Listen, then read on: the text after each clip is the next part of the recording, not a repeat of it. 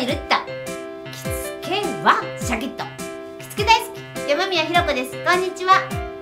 いつも YouTube をご覧いただきまして誠にありがとうございます。今日は成人式対策の一つとして振袖の襟考察。振袖の襟を考察していきましょう。それではいっちゃうよ。このボディちゃんは私が普段こう使っている私のボディちゃんで振袖を着せていますで襟ねここの襟の出方の問題です刺繍襟。ほとんどのお嬢さんが刺繍襟ですよね。成人式の時ってね。伊達襟もこんななんか飾りなんかつっちゃって可愛くなっちゃってたりしますよ。それで刺繍襟。ここのね、この出方、どのぐらい出しますかっていう問題です。これ、検定だったりすると、ここ何センチ何点何なんて決まってますよね。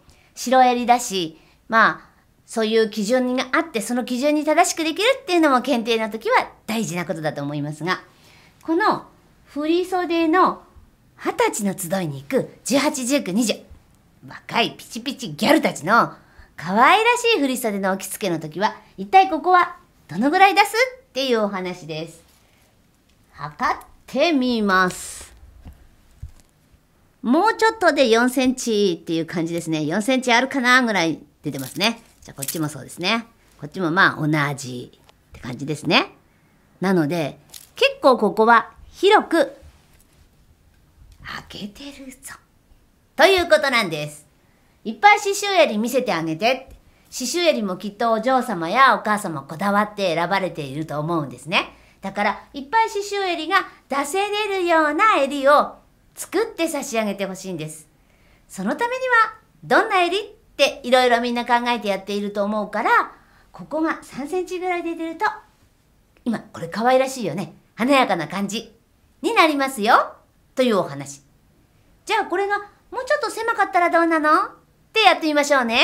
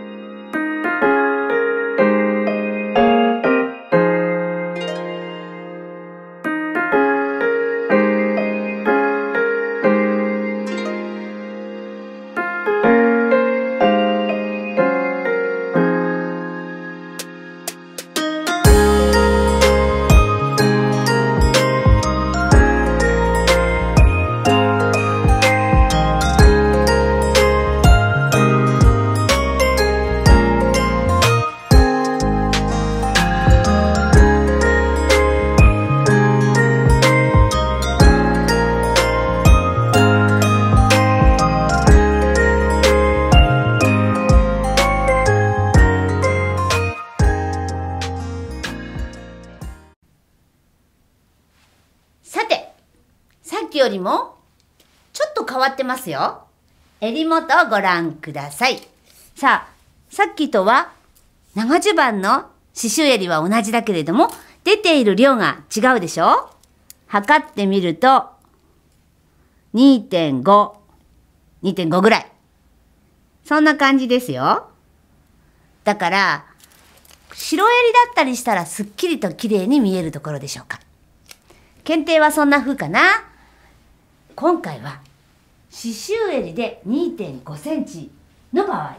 しかもこんなのがついちゃって飾りなんかついちゃってるとまあ襟はだいぶ見え方が少なくなってきます。これが2.5センチ。さっきとは1センチぐらいは違うってことですよね。どうでしょう？皆さんご覧になってみてどうですか？いろいろなお考え方もあるし成人式二十歳の集い？そういう時でなければまあいろいろな場合が振り袖でもありますよね。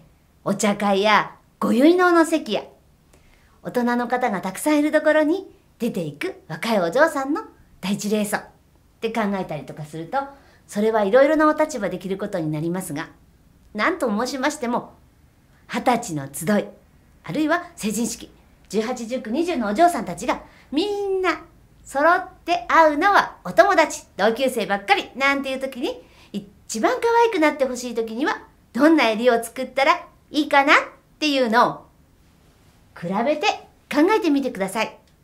どっちも正解です。間違いではありません。右と左が同じように幅が決まって襟がなっていれば何の問題もないです。ただどんな風に可愛らしくしたいっていうところ。そこも考えてデザインしてあげる。作ってあげる。大事だと思います。そんな時にはもちろん補正もありますし伊達襟の幅。伊達襟のデザインにもよりますよね。美獣が可愛くついていたりすっきりと見せたり2本3本。とデザインされていたり。そんな伊達襟の時どんな風にする？っていうのも考えて襟元すごく大事です。帯や帯揚げも華やかにしてあげたいところだけどお嬢様のお顔のすぐ下刺繍襟たっぷり見せてあげて可愛く装ってあげたらどうでしょうか？ぜひ考察しながらデザインしてあげてくださいね。今日は二十歳の集いに行かれる若いお嬢様たちが可愛くしたい刺繍襟の長襦袢の襟幅。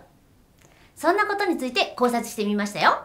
皆さんの意見も聞いてみたいなと思います。こんな風に襟が乗るためには補正も大事です。そして後ろの襟抜きのことも大事。いろんなことも考えてあげてください。ぜひぜひこれを参考にしてご自分でもお着付けするときお嬢様にデザインして差し上げてくださいね。というわけで今日もそろそろここで皆さんに元気注入してバイバイしていきますよ。いいですか？行くよ。成人式。頑張ってね。元気。注入。バイバーイ。